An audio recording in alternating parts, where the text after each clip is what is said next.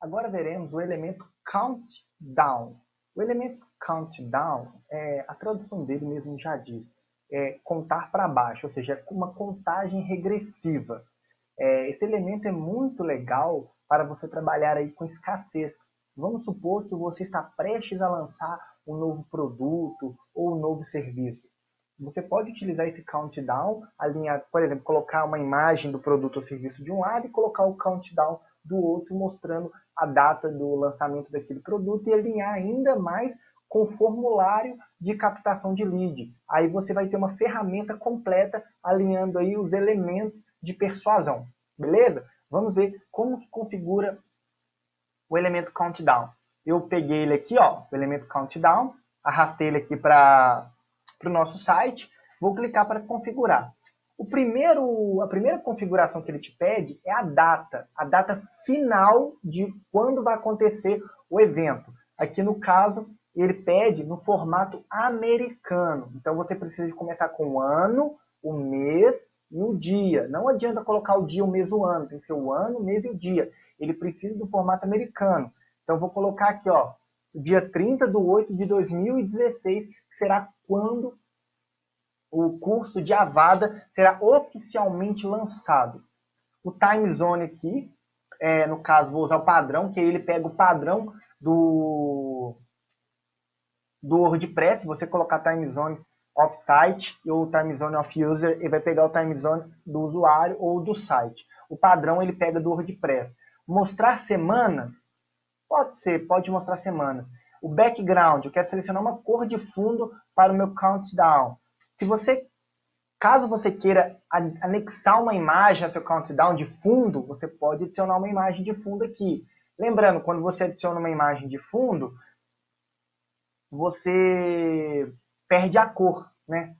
Então vamos imaginar aqui nesse caso, ó, eu tô, o meu produto é massagem relaxante um monte de cliente procura o meu produto massagem relaxante. Então, eu quero anexar aí uma escassez, uma escassez assim, né? Uma escassez falando, olha, até o dia tal, quem se cadastrar no formulário abaixo vai ganhar um cupom de desconto para o lançamento do nosso produto massagem relaxante. E aqui eu vou colocar que a imagem não quero que se repita, não a posição dela vai ser left top, à esquerda, no topo, não quero border radius. O content box eu vou colocar preto mesmo, a cor, a cor dos textos eu vou colocar preta. O heading, text, escolha uma headline para o countdown, ou seja, é, ganhe 30% de desconto para o lançamento.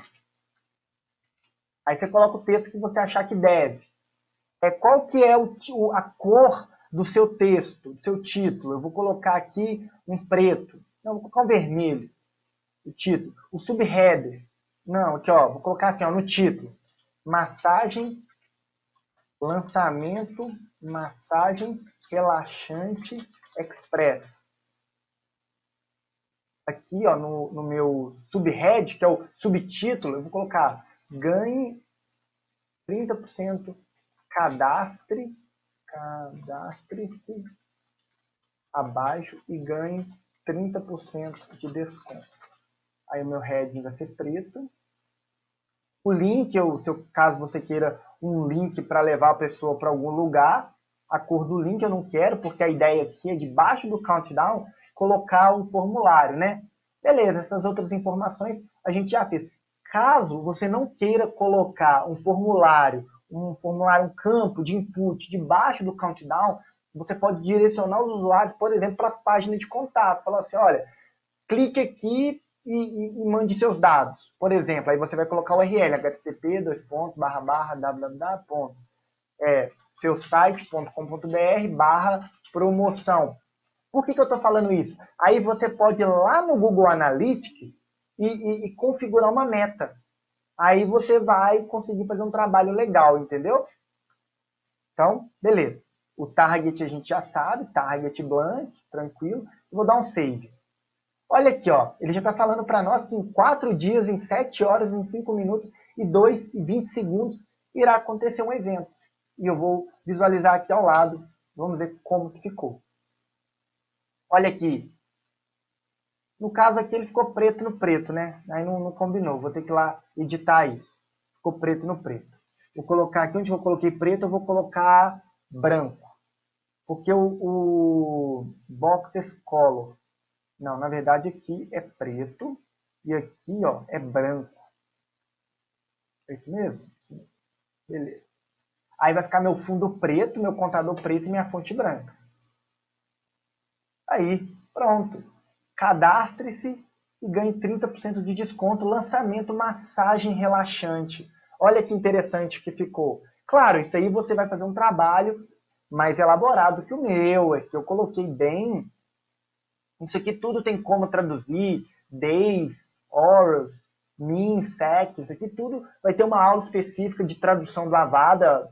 É, aí você dá uma olhadinha se a aula já está disponível de tradução. Provavelmente vai ser uma das últimas aulas aí sobre tradução, mas você já tem aí né, o, o a sua ferramenta de escassez.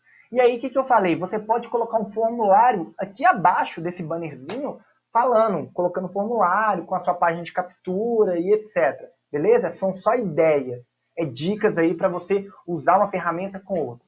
Beleza?